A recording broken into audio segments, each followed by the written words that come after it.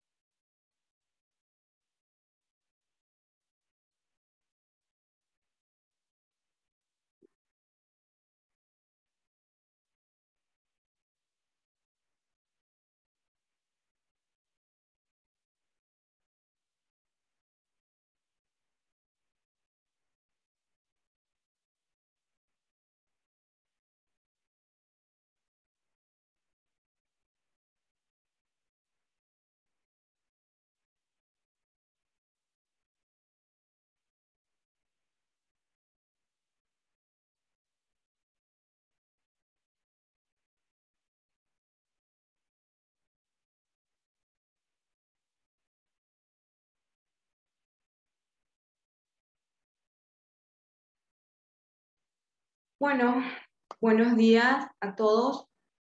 Como me presente, mi nombre es Fabiola Bordón. Eh, soy gerente de, de Mont Paraguay y en esta mañana voy a presentar eh, un webinar haciendo negocios en Paraguay.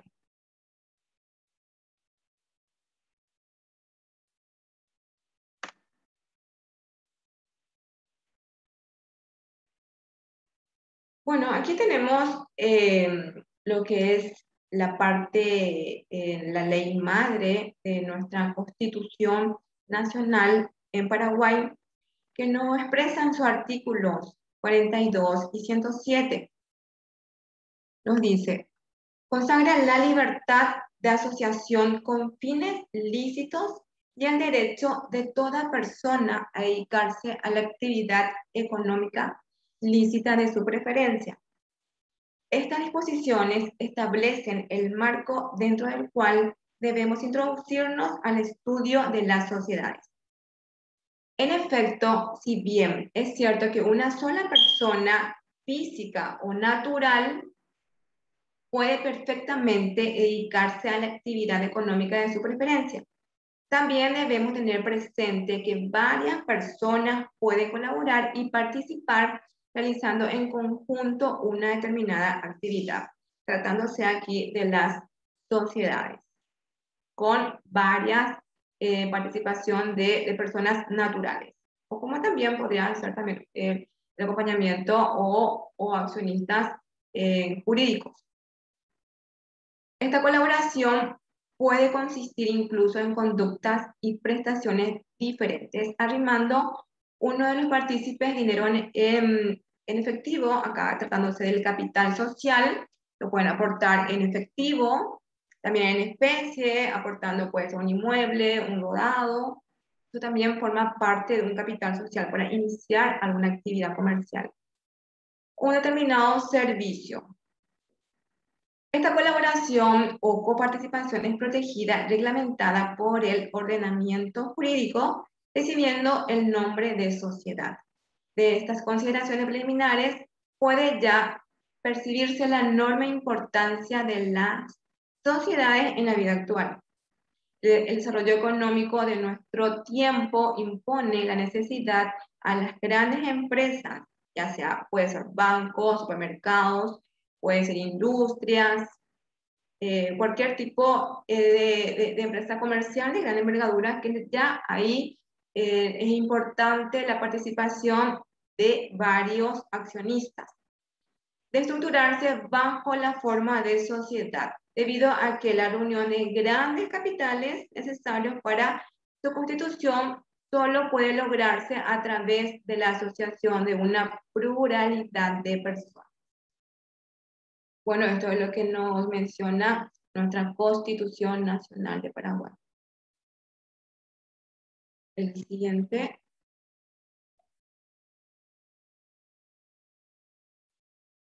Los tipos de, de sociedades que, tenemos aquí en Paraguay lo llamamos eh, sociedad anónima. Hoy en día, en realidad, se llama ya, eh, todavía no se cambió el nombre, pero las, las, las acciones ya no son al portador, son nominativas. Y por lo tanto, hoy en día lo, lo, lo, estamos llamando sociedades por acciones. Sociedad de responsabilidad limitada, empresa individual de responsabilidad limitada, empresas unipersonal.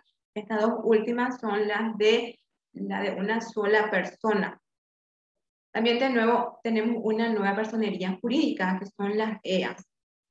Estamos eh, comenzando a, a, constituir esta nueva personería jurídica, que en mi exposición más adelante le estaré mencionando.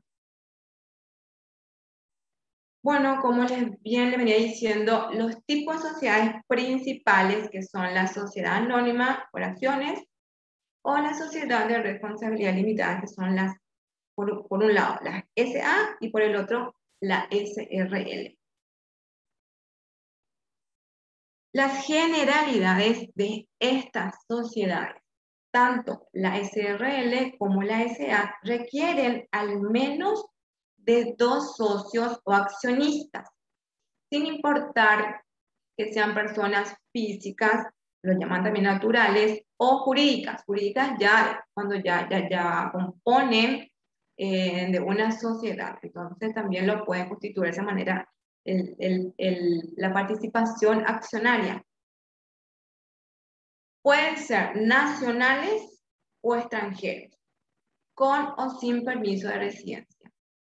Es decir, un extranjero puede ser accionista de estas sociedades, pero no pueden ser representante legal ni director si quieren ser directos, si, los, si las personas del exterior lo, quieren ser representantes legal y director de esta sociedad, deben, deben sacar su residencia permanente en Paraguay. Siendo que no existen requisitos exigidos de nacionalidad o residencia. Extranjeros no residentes y sociedades extranjeras puede detentar el 100% de las acciones de una SA y también de una SRL. Pueden ser ellos eh, los accionistas del paquete accionario del 100% del capital social. Para las SRL se establece un máximo de 25 socios, en tanto que para la SA no existe un número máximo de accionistas. La legislación establece una participación mínima que deba detentar cada accionista. Es decir, un accionista puede tener el 99%, el otro accionista, tratándose, por decirlo, de dos accionistas. Uno puede tener el 99% y el otro puede tener el 1%. Ya eso eh, ya lo van tratando eh, los accionistas que quieran constituir la sociedad. Es posible que un accionista detente un porcentaje muy sustancial de las acciones y el otro porcentaje mínimo, como lo venía diciendo. Con respecto a la administración de esta sociedad, la administración y representación está a cargo de uno o más gerentes para las SRL y de uno o más directores para la S. Pero deben tener en cuenta que para ser director de esta sociedad debe un extranjero debe sacar su residencia permanente en Paraguay, debe obtener su residencia, su carnet de residencia permanente en Paraguay. O, o se asocia con un paraguayo y el paraguayo es su representante legal y su director. Que viene a ser un empleado el, director o representante legal viene a ser un empleado de los dueños, que son los accionistas. Los administradores, gerentes, director, pueden ser extranjeros, pero deben contar con el permiso de residencia. Es lo que le mencioné. Los directores pueden ser reelectos indefinidamente y su designación es revocable en cualquier momento por resolución de asamblea. Es decir, si quieren cambiar el director o representante legal de la sociedad, esto se hace eh, por junta y se nombra al nuevo, eh, al nuevo director, que vendría a ser el miembro del director. Los administradores responden en forma solidaria e ilimitadamente ante la sociedad. Los accionistas y terceros, por, por inejecución o mal desempeño del mandato, violación de la ley o de los estatutos sociales y perjuicios causados por lo culpa grave y abuso de facultades. La responsabilidad de estos administradores. El capital social para poder integrar una sociedad. No exige un capital mínimo para la constitución de una sociedad o sucursal, pero la moneda, el capital lo deben integrar con, en la moneda local, en Paraguay el guaraní.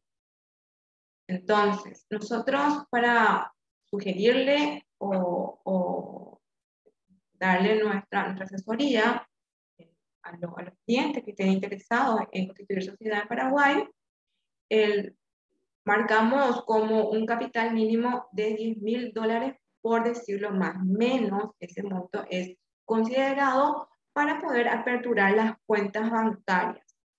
Eh, moneda local, el guaraní, y la moneda eh, extranjera en dólares, que son esas dos cuentas, son las más usadas. El capital debe suscribirse íntegramente en el acto constitutivo. Los aportes en especie también deberán integrarse totalmente en el, en el acto constitutivo.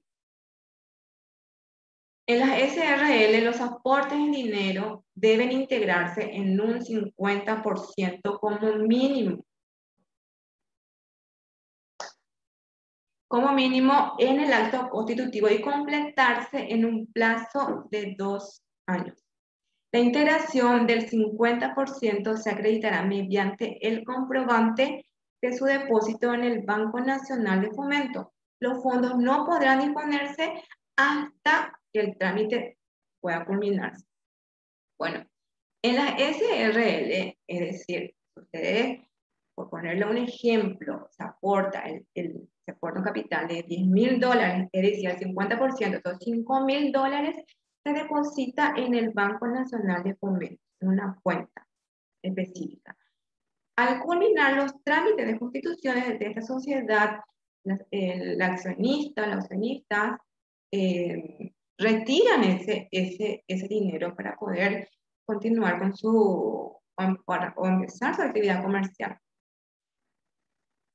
Sin embargo, eso en la SA, en la sociedad anónima, no ocurre eso. Es decir, el capital social no es necesario tenerlo en caja, el efectivo. Eh, más bien, el capital social eh, se, se, eh, se documenta con el estatuto y no, no es necesario que se cuente con el dinero y se deposite en la cuenta, en la cuenta, eh, en una cuenta bancaria que es específicamente en el Banco Nacional de Fomento. No es otro banco, nada más que el Banco Nacional de Fomento para constituir sociedades. Bueno, no existe un porcentaje mínimo de, de integración exigido para la SA.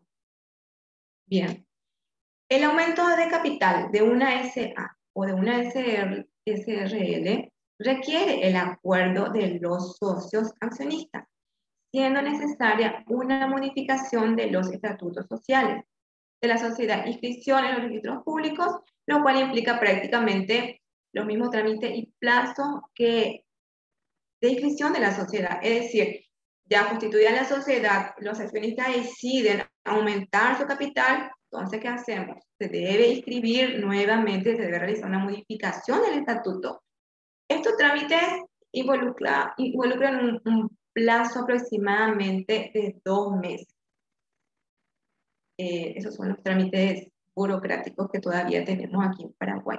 pero en dos meses, en, en, como en un mes y medio o prácticamente dos meses, depende del registro público, podemos sacar el, la constitución de la sociedad y para que ya el, la empresa pueda iniciar sus actividades comerciales. Las formalidades de una SA. El funcionamiento de la SA está sujeto a mayores formalidades que de una SRL. Bueno, en efecto, las SA requieren que necesitan las SA tener sus libros societarios. Estos libros societarios eh, se deben asentar todas las decisiones que tomen los administradores en la asamblea. Llaman a junta, hacen la convocatoria de asamblea, deciden, eh, por ejemplo, si se decide otorgar un poder para un abogado, para un trámite, para si decide comprar alguna, alguna, alguna una sociedad, si quiere ser, si, eh, la sociedad también quiere ser accionista otra sociedad, todo eso se decide en una junta, en una asamblea, como le llamamos nosotros. Bueno, convocar por periodos diarios a asambleas anuales, aunque asista el 100% de los accionistas. Bueno, eh, las asambleas anuales son obligatorias. Esa lo deben hacer de manera obligatoria. Las otras son sí de manera eh, no, no, habitual ya cuando las sociedades requieran llamar a junta o a reuniones de directorio. En, este caso, las asambleas anuales obligatorias, las ordinarias, esa deben hacer su convocatoria eh, en el mes de abril, que es en el cuarto mes del año. Y presentar sus balances, memoria de directorio, informe del síndico. El síndico es el, la, la persona que vigila si la sociedad está llevando todo en orden, eh, está pagando sus su impuestos, está cumpliendo con sus obligaciones eh, fiscales. Bueno, ese informe, se lo, eso, ese informe se presenta en el mes de abril. Los balances y los informes directorios del síndico. Y, y se ve el resultado del ejercicio. Se, se, toma un destino de la utilidad. En donde, eh, ¿qué hace con el destino? Si distribuye la utilidad, mandarlo a reserva. Eh, es obligatorio eh, dar, dar un, un destino a la utilidad. Estamos obligados a eso ante la ley. Designar síndicos, elegir periódicamente un directorio, sus administradores deben reunirse periódicamente o al menos ocasionalmente cuando las actividades sociales lo requieran. Lo Realizar anualmente memoria directorio, balance e informe del síndico. Este último punto se trata en el cuarto mes del año presentando los balances, memoria directorio, informe del síndico y el destino de la utilidad si bien lo tuvo en ese año de cierre. Bueno, aquí tenemos algunos requisitos de lo que contemplan para la sociedad anónima, que es un poco más, eh, tiene un poco más de exigencia, pero es, es, eh, es más ordenado de mi punto de vista, eh, la sociedad anónima son nada más que inscribirse, eh, debe presentar, una vez que esté constituida esta sociedad, la sociedad anónima, debe presentar toda su documentación en la Abogacía del Tesoro, que es un departamento de fiscalización de sociedad. Que en la sociedad anónima deben comunicar todas sus decisiones de asamblea, comunicación asamblearia, ya sea ordinaria, extraordinaria, todo tipo de, eh, que hayan tomado, todo tipo de decisiones que hayan tomado en su asamblea deben comunicar a fiscalización de sociedades. Si no lo hiciere, estamos sujetos a multa. Son obligatorios estos tipos de trámites. Bueno, estamos hablando de los síndicos. A lo mejor no conocen esta figura. El síndico es la persona que vigila el correcto el correcto funcionamiento de la sociedad. Dice, la fiscalización de la dirección y administración de la sociedad está a cargo de uno más síndico titulares o suplente designado con carácter personal e indelegable. Es también importante mencionarles que el síndico tiene que ser paraguayo, tiene un paraguayo. Y, o bien, si lo es un extranjero, debe tener residencia permanente en el país. Al tener su residencia en el país un extranjero, pasa a ser un paraguayo más. Y está obligado todo, todo tipo eh, de impuestos que pueda percibir dentro del país. Los síndicos deben ser idóneos para que el control les corresponda ejercer sea eficiente atendiendo a la importancia y complejidad de las actividades de la sociedad. esto va de la mano con el director representante legal. Deben estar domiciliados en la República y ser hábiles para el cargo.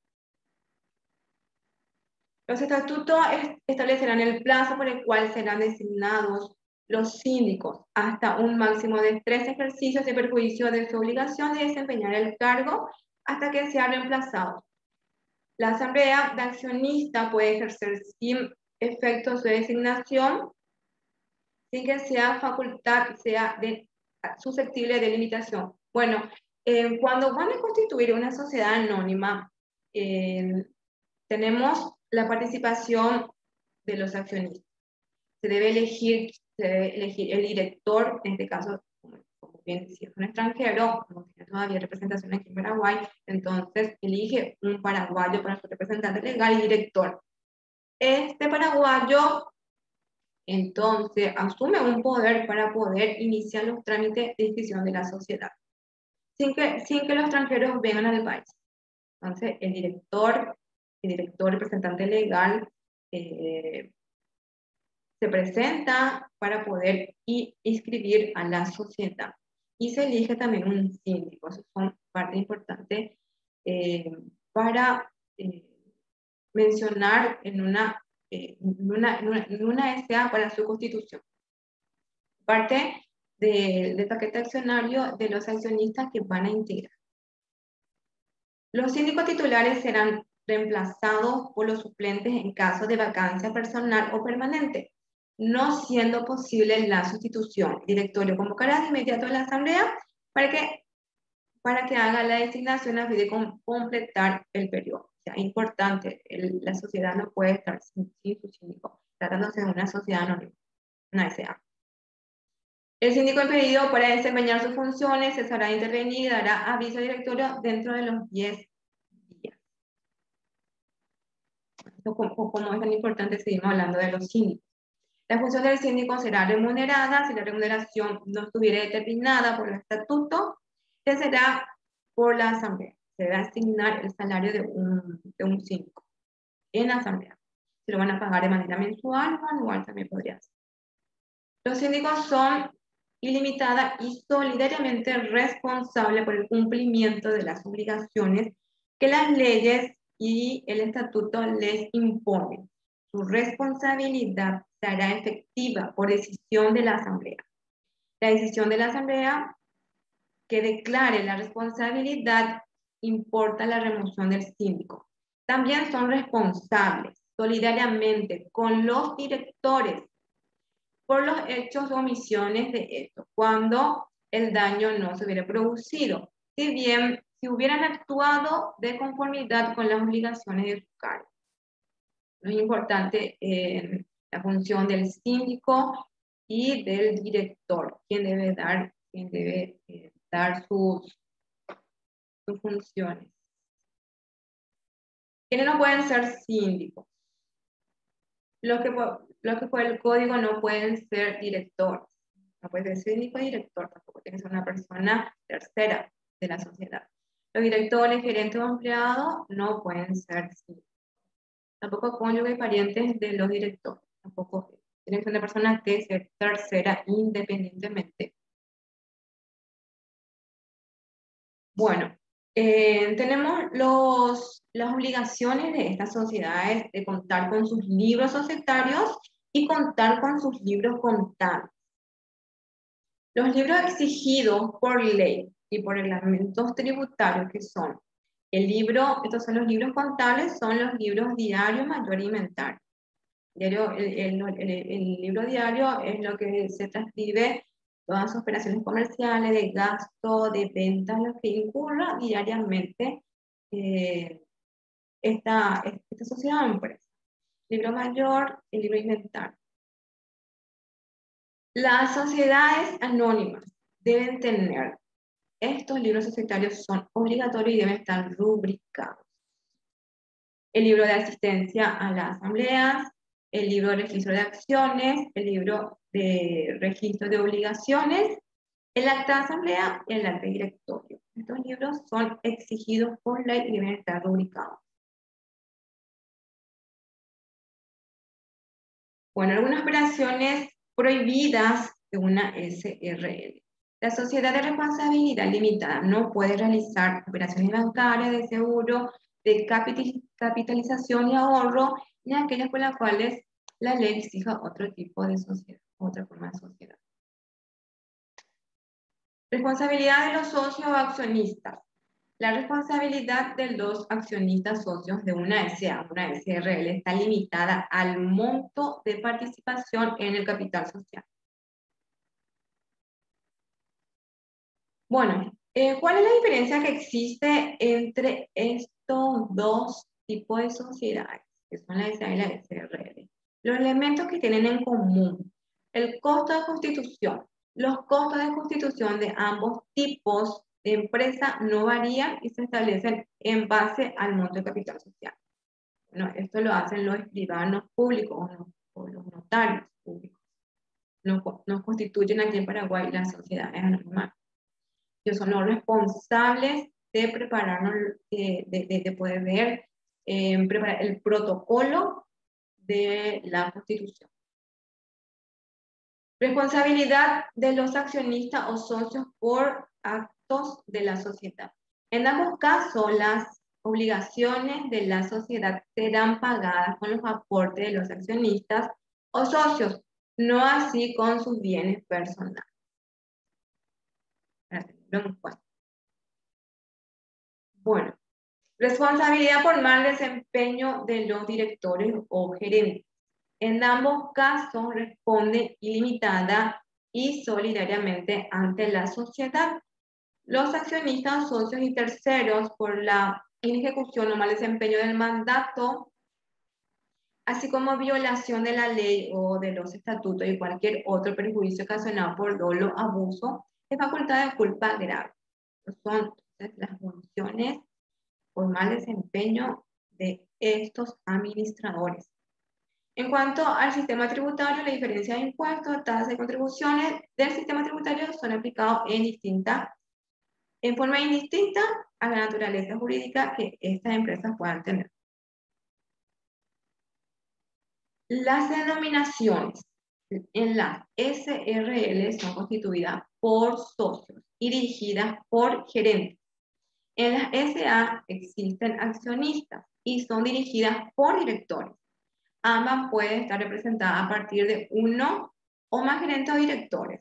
ya lo pueden elegir. Uno puede, puede tener puede tener también un director suplente y un director titular, como mí. Puede tener más, puede tener hasta cinco directores. Límite de socios. En la SRL existe un mínimo de 25, no, perdón. En la SRL existe un límite de 25 socios, mientras que en la SA no existe limitación de accionistas. Eh, ese sería el límite desde los dos. Integración del capital social. En la SRL, los aportes de dinero, ya como esto, acá lo volvemos a repetir, la manera de integrar el capital en la SRL, los aportes de dinero que se realicen para la, para la integración del capital deben estar el 50% depositados en un banco oficial, eh, específicamente en el Banco Nacional de Fomento, al momento de la constitución de la sociedad. El 50% restante deberá integrarse en un plazo de dos años. En la SA no existe un requerimiento con respecto a los aportes en efectivo, ni al plazo máximo para la integración de capital. Por este punto lo volvemos a repetir. Las acciones y cuotas de participación. Los aportes de los socios de las SRL están representadas en cuotas de participación. No pueden ser representadas en títulos negociables, mientras que el documento que certifica el aporte de los accionistas en la SA son títulos de acción que sí pueden ser negociables, transferibles. Transferencia de acciones o cuotas a terceros.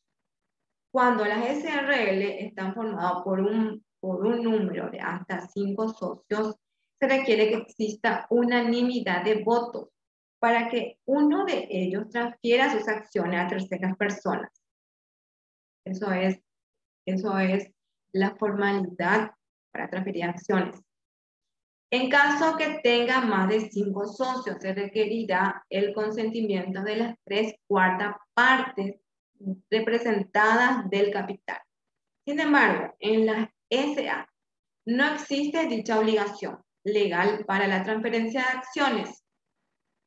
Normalmente existe una cláusula, la que se llama común acuerdo, donde las acciones deben ser ofrecidas primero a los demás accionistas. Y si ninguno quiere comprar, puede vender al tercero. Bien conocido como derecho de preferencia para las SA. Bueno, las formalidades de las transferencias de acciones o cuotas. La cuota de participación debe ser transferida únicamente mediante escritura pública, mientras que los títulos de acciones de la SA pueden transferirse también mediante en dos. Las asambleas anuales en las SRL, a diferencia de la SA, no requieren realización de asambleas anuales para la aprobación de balance y designación de autoridades. Bueno, para las, S, para las SRL no se cumple esta obligación, pero para la SA sí es, obligatorio llamar a junta en el, en el cuarto mes del año. Forma de convocatoria para asamblea. En las SRL no se requiere notificación personal a los socios, mientras que en la SA es necesario realizar la convocatoria mediante publicación, publicaciones en diarios de gran circulación, además de la obligación de realizar la comunicación en abogación tesoro, ya como lo, había eh, comentado en mi proyección anterior. Bueno, eso es lo que veníamos hablando de las sociedades eh, la SA y la SRL. Aquí tengo esta nueva, tenemos esta nueva personería jurídica que son las EAS. Esta nada más estuvo reglamentada el año pasado. Eh, esta se reglamentó como eh, a finales del año pasado. Ya con la pandemia esto se aceleró más el proceso. Pero es bastante nueva. Eh, la manera de constituir. Dice, a diferencia de los tipos societarios e-, existentes que ya veníamos viendo en la, SRL, eh, en la legislación paraguaya, la EAS podrá ser constituida por una sola persona, aunque también puede ser por más de una persona jurídica. Las EAS unipersonal no podrán constituir ni, participar en otra EAS unipersonal. Esa es una... Eh, eh, un punto no favorable para la EAS. La constitución podrá realizarse por contrato o acto unilateral por medio de instrumentos públicos o privados con certificación de firma. Bueno, eh, esto se hace todo a través de la, a través, de la plataforma eh, del SUACE, que viene a ser, una dependencia del Ministerio de Industria y Comercio, le da la facilidad al emprendedor de tener un modelo, un modelo de constitución. Nada más tiene que hacer, completar sus datos y lo hace de manera virtual, sobre todo en la página del Ministerio de Industria y Comercio, específicamente el SUAS. Eh, bueno, para la creación de las EAS, la empresa interesada deberá declarar el nombre, documento de identidad y domicilio de los integrantes de la empresa. Asimismo, la denominación de la persona jurídica seguida de las, de las palabras empresas por acciones simplificadas o de sus iniciales que son EAS. El domicilio principal de la empresa, el objeto de la empresa y la duración de la empresa la que se entenderá que es indefinida en caso de que el acto constitutivo no contenga disposición al respecto. Bueno, con respecto a su, eh, al aspecto social, eh, esa diferencia que tenemos nosotros con las demás sociedades, que son las de la SRL, el aspecto social es bastante amplio. Sin embargo, con este tipo de sociedad es un poco más reducido el, el, el, el, aspecto social, la actividad comercial, y no da tanta facilidad para poder cambiar el tipo de actividad que puede, eh, si el, el, emprendedor quiere cambiar más adelante su actividad comercial, eh, eh, esto no es tan favorable para, para ese tipo de actividad. Con respecto a su registro, la EA adquirirá personalidad jurídica distinta a la de sus integrantes. En el momento de su inscripción en una dependencia del Ministerio de Hacienda creada al efecto. No se requerirá que la misma sea inscrita en el registro público de comercio para poder operar. Su inscripción se debe tramitar en el Sistema Unificado de Apertura y Cierre de Empresa, que es el SUACE, en cuya página web se publicará un formulario para su inscripción y un modelo de su estatuto social. Debe completar los datos y levantar el documento en esta página, la página del usuario. Es decir, esto ya no se inscribe en el Ministerio de Hacienda, sino que va de forma directamente al Ministerio, de Comercio y luego va a los siguientes eh, organismos de control. Con respecto al capital social, la EA no requiere de un mínimo de capital social ni tampoco de un máximo. El capital social de la EA estará representado en acciones nominativas, las cuales podrán ser endosables o no, ordinarias o preferidas.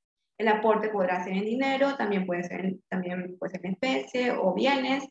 Cuando el aporte sea en dinero, se, se deberá integrar el 50% del monto comprometido en el acto constitutivo y el 50% dentro de dos años de la constitución.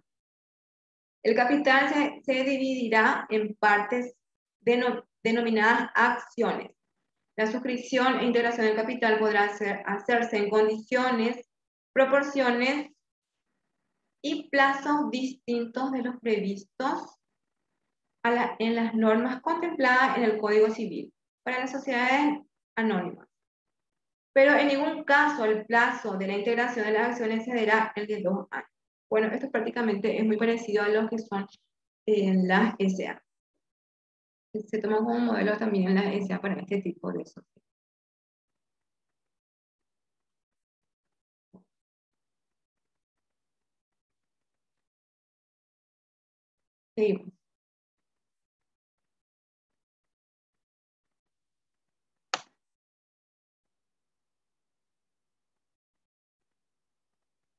Bueno, eso vendríamos hablando sobre la EA. Aquí vamos a hablar ahora En cuanto a las, en cuanto a las obligaciones, las obligaciones de una em, eh,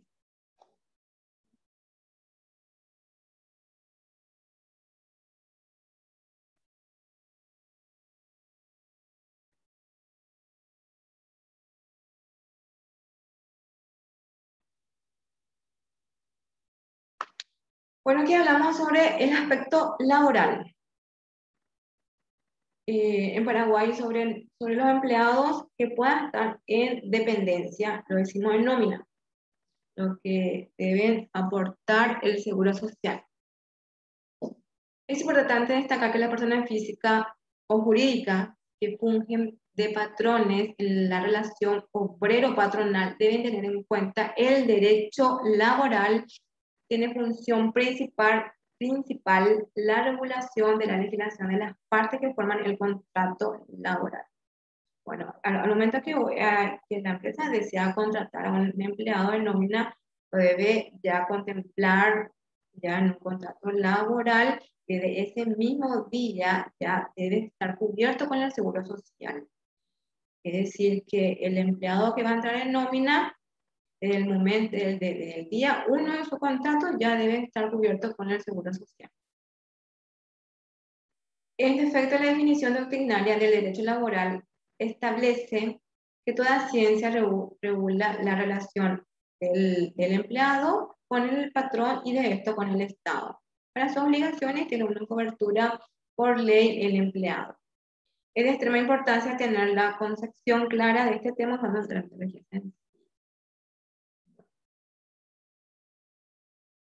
En cuanto a lo que son los aportes del Seguro Social, el, aquí lo llamamos Instituto de Previsión Social, es lo que se le retiene, el aporte que se le retiene al empleado, esto se, esto se deposita al Instituto de Previsión Social.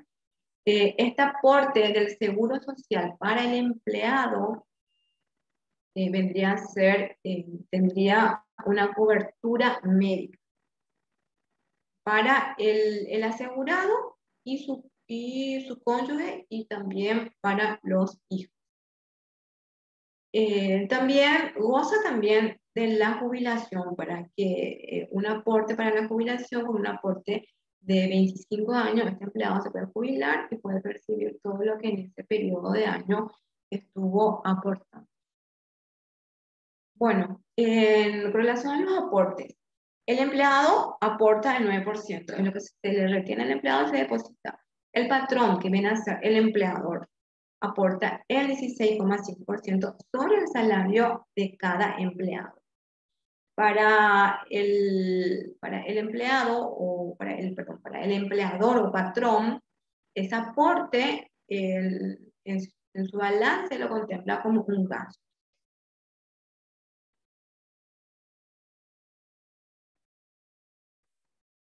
Bueno, ¿qué es el aporte?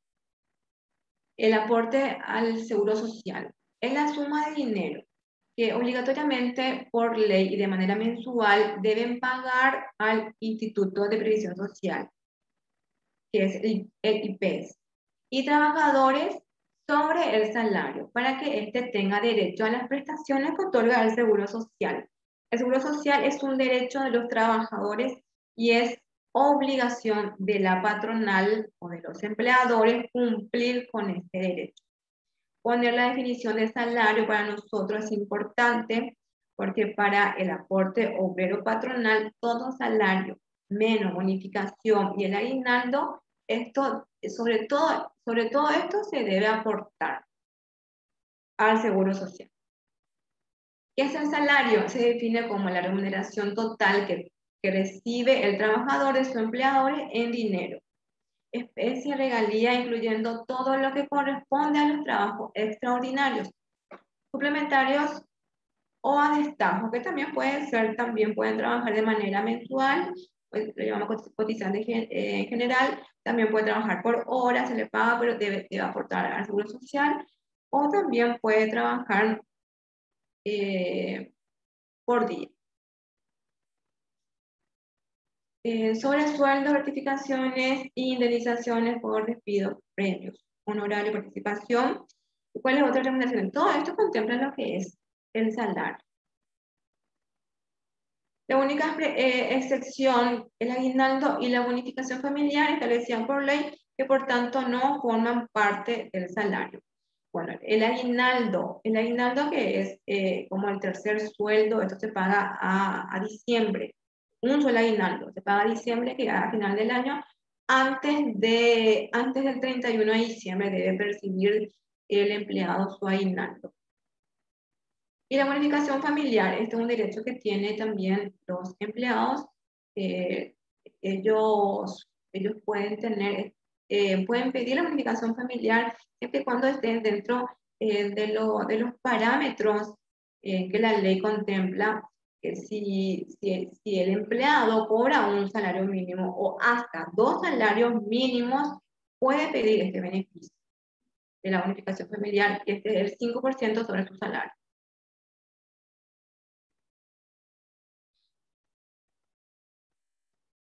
Bueno, con respecto al, al periodo de prueba, si el empleado si el empleador está obligado a comunicar la entrada del trabajador en el momento en que éste inicia su tarea dentro de la empresa. Esto incluye el periodo de prueba. Es decir, desde el periodo de prueba, el empleado ya debe estar eh, inscrito en el IPS y también debe firmar su contrato laboral. El periodo de prueba vendría a ser dos meses, según establece el Código Laboral. Y lo puede despedir también en ese periodo. Cumpliendo su periodo de prueba, lo pueden despedir sin pagar preaviso indemnizaciones. Eso no, no está contemplado dentro del periodo de, prueba. Siguiendo, eh, con respecto a las vacaciones de todo empleado del nombre. Sus vacaciones de 0 a 5 años le corresponde unas vacaciones de 12 días hábiles. De 6 a 10 años le corresponde 18 días hábiles y cuando ya tiene más de años, que ya una estabilidad laboral para el empleado, son de 30 días hábiles. Bueno, otro dato importante acá que podemos mencionar que eh, la, la, carga horaria que, que, que, un, que, un, empleado debe, debe, debe completar es de 48 horas semanales. Y el aguinaldo, que es el tercer aguinaldo, que es el tercer sueldo, el tercer, eh, de, el sueldo, el sueldo, es un sueldo más que el, la, doce, la doceava parte del salario percibido. Nosotros hablamos esto como que, como que es un un, adicional más el aguinaldo que debe percibir el empleado. El salario mínimo eh, vigente eh, en guaraníes es 2.289.324 y su equivalente en dólares es 352.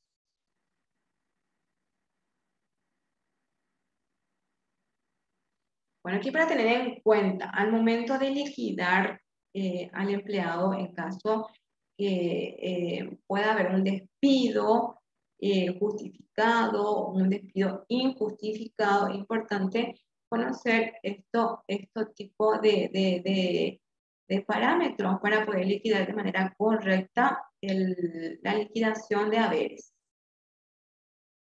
Para un preaviso eh, durante su periodo de prueba son de, son de cero días, no es necesario presentar una carta de preaviso, pero sí ya cuando eh, el empleado ya tiene cierto, eh, eh, ya va teniendo antigüedad, es importante tener en cuenta los días que debe, debe notificar el preaviso del para el despido o para rescisión del contrato laboral.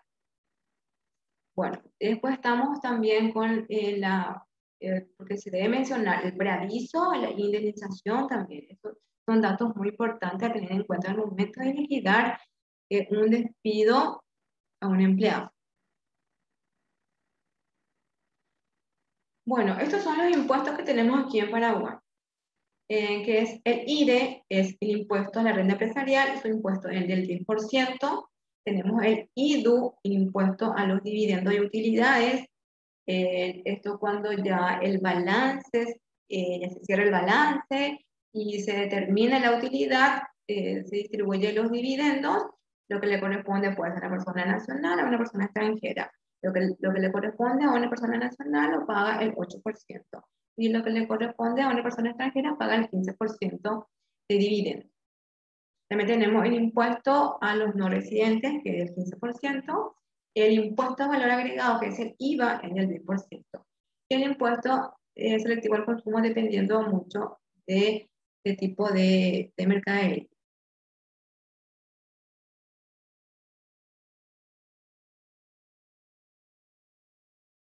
Bueno, desde el punto de vista del contribuyente, las empresas, las grandes unipersonales y empresas jurídicas son los contribuyentes de este impuesto.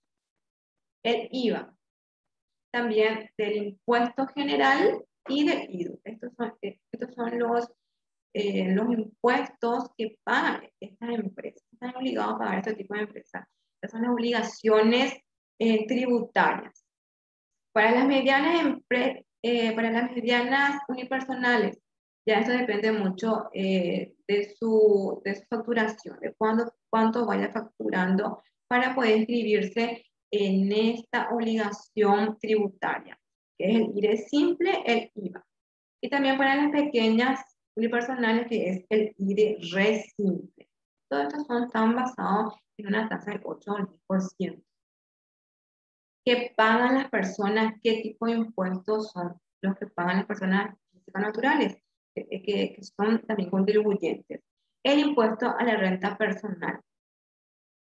El IVA y el impuesto a los dividendos y utilidades. El impuesto a la renta personal, esto por ejemplo puede ser para los profesionales, puede ser para los directores, también, también paga este tipo de impuestos, también pueden pagar los accionistas o, o personas que perciben de manera mensual un salario que eh, equivale eh, a más de mil dólares mensual, eh, juntando todos sus movimientos en, en, un mes, llega a alcanzar como 10 mil dólares en ese momento, entonces esta persona está obligado a tributar este impuesto cuando sus ingresos superen aproximadamente entre los 8 mil dólares o 10 mil, aproximadamente ese monto.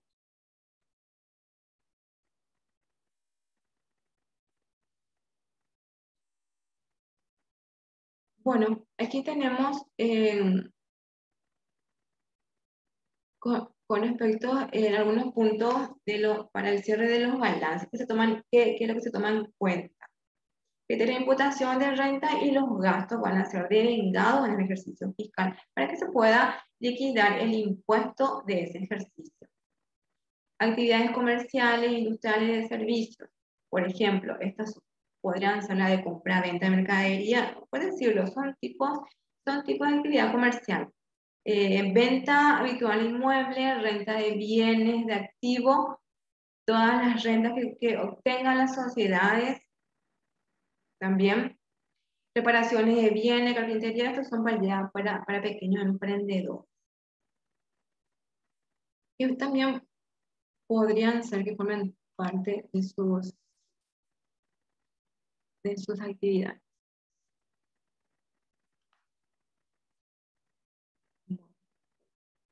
¿Qué es una renta bruta? Para poder liquidar este impuesto, que es el IRE, el impuesto a la renta empresarial. El impuesto de este, la tasa de este impuesto es del 10%. Es este impuesto a la renta empresarial, es anual cuando se cierra el balance y se presenta el balance al siguiente año en abril de ese año. Eh, antes de eso, se hace la asamblea y en la asamblea se decide el destino de la utilidad y también el balance, se, revisa el balance y se da lectura y aprobación del balance y del resultado. En ese tiempo, en ese mes de abril, la empresa debe pagar su impuesto si, lo tuvo, si tuvo utilidad. La utilidad, la tasa de este impuesto es del 10%. El, bueno, hablamos sobre la renta bruta, que es la diferencia entre el ingreso total de operaciones grabadas y, y el costo de las mismas.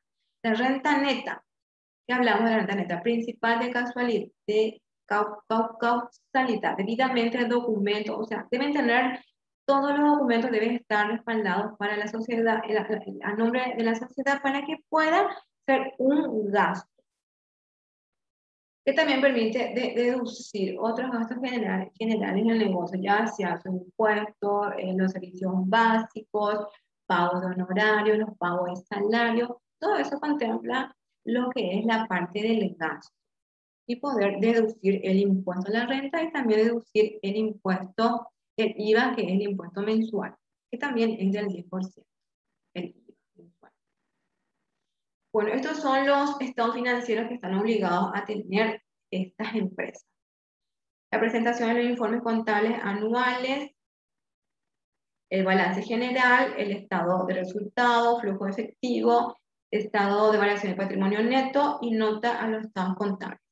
Eh, estos son los estados financieros obligatorios que debe tener toda empresa en su archivo tributario.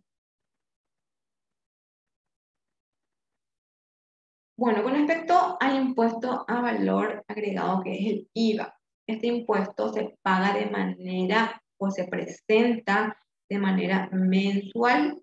En caso que no lo hiciera, el contribuyente está sujeto a una contravención y también eh, un incumplimiento en sus obligaciones tributarias o fiscales. El contribuyente eh, tiene una cédula tributaria, lo llamamos RUC, eh, ERUC, Registro Único del Contribuyente. En otros países, por ejemplo, es RUT, Registro Único Tributario, por decirlo. Eh, el nuestro aquí en Paraguay lo llamamos RUC, Registro Único del Contribuyente. Este, este RUC, el Registro Único del Contribuyente, tiene una terminación y de acuerdo a su terminación es, eh, está obligado a presentar sus obligaciones eh, fiscales, ya sea de impuestos, que va a ser el impuesto del IVA, que va a ser el impuesto, el, el, impuesto de, eh, de, renta o cualquier otro impuesto que la administración tributaria vaya exigiendo. Bueno, aquí tiene el calendario perpetuo, le llamamos nosotros que va de acuerdo a su, a su, a su terminación de que va desde el 7 del mes hasta el 25 del mes. Ahí, terminamos de presentar todas las obligaciones eh, tributarias de los contribuyentes. Bueno, para ir terminando, política monetaria y cambiaria en Paraguay. Durante la estabilidad de precios actualmente el objetivo ampliamente aceptado de política monetaria basado en la evidencia internacional y la experiencia histórica que una inflación baja y estable contribuye a lograr un crecimiento económico. ¿Cuáles serían entonces las ventajas para un emisor? Es una alternativa y complemento el esquema del financiamiento vía banco, permite optimizar la estructura financiera no dependiendo de una sola fuente de recursos. Reduce el costo al evitar la intermediación financiera bancaria. Las condiciones de financiamiento se adecuan a las necesidades específicas del emisor en cuanto a plazo, la tasa de interés, amortización, modalidad de pago, entre otras cosas permite encontrar nuevos accionistas interesados en acompañar nuevos proyectos. Proyecta una, una imagen corporativa debido a que el público accede información sobre la sociedad. ¿Y cuál sería la ventaja para el inversionista? Mayor alternativa de inversión segura según el riesgo y rendimiento deseado. Los precios son formados por el libre juego de la oferta y la demanda en el mercado. Eh, se puede diversificar la, la inversión para la, por la variedad de instrumentos ofrecidos. Mayor liquidez debido a que pueden ser negociados en el mercado secundario. Asesoramiento en la casa de bolsa que orienta al inversionista en sus decisiones. Perfecto, tenemos aquí la casa de bolsa quienes puedan estar interesados en este tipo de actividad el control y supervisión del mercado, en el cual se puede encontrar información para la toma de decisión de inversión. Bueno, esto ha sido mi presentación de Haciendo Negocio en Paraguay. Acá tenemos en pantalla nuestras oficinas donde tenemos presencia, eh, tenemos en Chile, Mom Group está en Chile, eh, está en Argentina, Brasil, Uruguay, eh, perdón, Perú, Colombia, estamos en México, Bolivia, Ecuador, Paraguay, Canadá y Uruguay. Bueno, muchas gracias por participar. Esta ha sido mi presentación. Aquí tienen mi correo, eh, mi dirección de correo electrónico para cualquier consulta, inquietud que ustedes desean informarse o saber más sobre Paraguay. Eh, estamos para responder. Y ¿Quieren hacer algunas consultas aquí en el chat?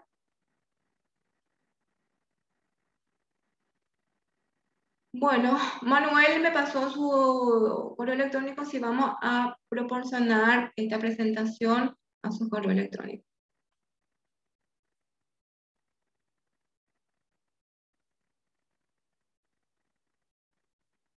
Bueno, Itala me dice, repetir los porcentajes de los impuestos. Bueno, el, IVA es del 10%, el impuesto a la renta empresarial también es del 10%, el IDU, que es el impuesto a los dividendos de utilidades para los extranjeros, es del 15%, y para los accionistas locales es del 8%.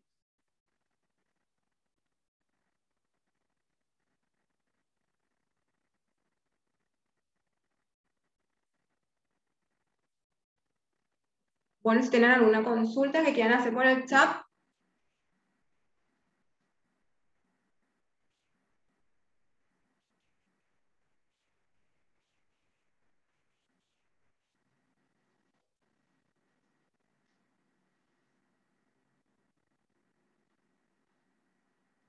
Bueno, si no tenemos eh, ninguna pregunta.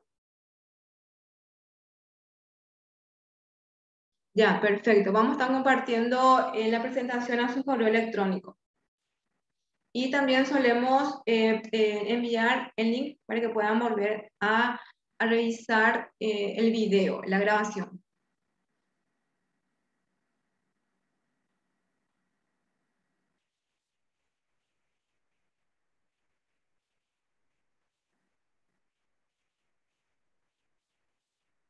Eh, acá me están preguntando también, para telecomunicaciones sí también se pueden inscribir eh, de manera eh, como una constitución de sociedad para este tipo, tenemos nosotros como, como modelo tenemos este tipo de sociedad. va a tributar el impuesto del IVA y va a tributar el, el impuesto a la renta empresarial, el 10%, y sus accionistas extranjeros va a pagar el IVA. Y ya. Eh, sin ningún problema le, eh, puede inscribirse como telecomunicación.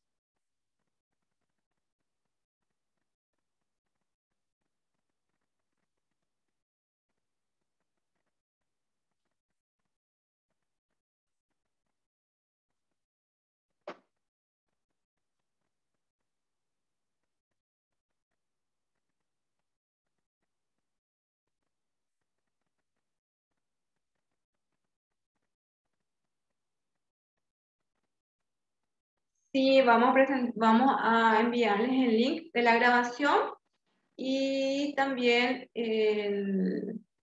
sería el documento en PDF de esta presentación para que puedan leer y cualquier inquietud que tengan pueden volver a preguntar a mi correo electrónico para darle seguimiento. Y si están interesados en constituirse en Paraguay, eh, podemos eh, tener una segunda o podemos eh, agendar una reunión para saber más en detalle sobre nuestros servicios.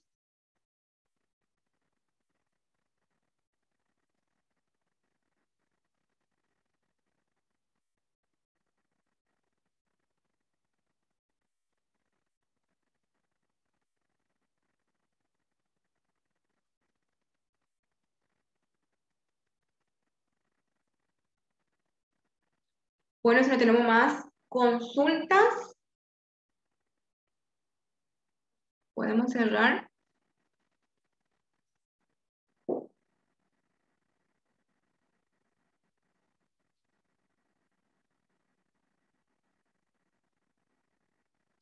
Bueno, Alejandro, los impuestos locales es lo que le venía diciendo. Cualquier otro impuesto que puedan pagar ya sería regional, como ustedes pueden decirlo, puede ser un impuesto, los impuestos pequeños que son la municipalidad de Asunción que hay que pagar por la patente comercial. La patente comercial sería el domicilio donde se establece la empresa. Debe pagar su impuesto municipal. Ese sería el tipo de impuesto que, pueda, que, puedan eh, eh, pagar. Eh, la patente comercial que se paga, se pagan dos patentes comerciales en el año. Uno en enero y en otro con semestral. Uno en enero y el siguiente se paga eh, en julio. Después cualquier otro impuesto eh, eh, sería, no, no hay otro impuesto obligatorio que tenga que pagar.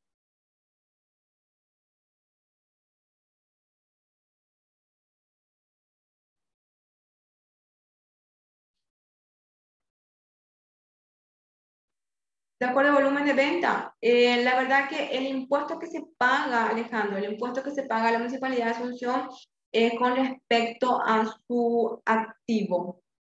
Con respecto a su activo. Y, la municipalidad de Asunción da una escala. Da una escala eh, para, poder, para poder promediar el, el impuesto. Es de acuerdo a su activo, a, a, a su balance. Eh, cuando va a iniciar su actividad comercial, presenta su balance balance de apertura y de acuerdo a su activo, entonces la municipalidad de Asunción o cualquier otra municipalidad eh, determina eh, el valor de su impuesto que va a pagar. Y eso va a ir modificando cada vez que presenta su balance, que cada vez que vaya teniendo movimiento la empresa, claramente aumenta su activo.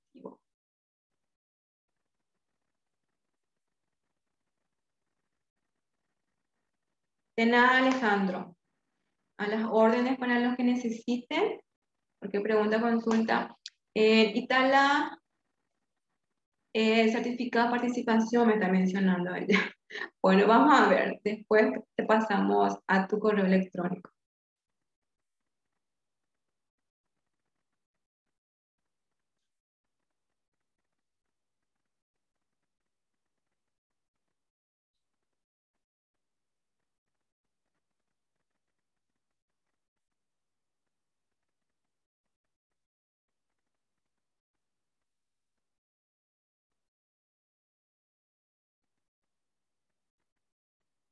Bueno, ¿tienen alguna duda, una consulta que todavía no les quedó algo claro, alguna curiosidad?